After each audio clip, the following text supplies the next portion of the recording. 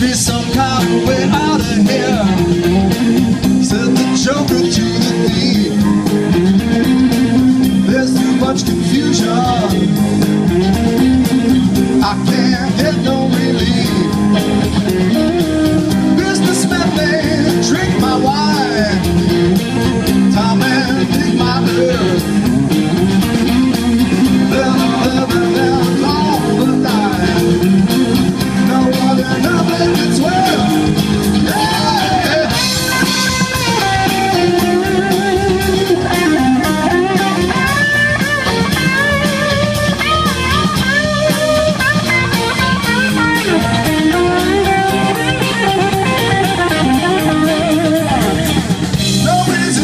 get excited.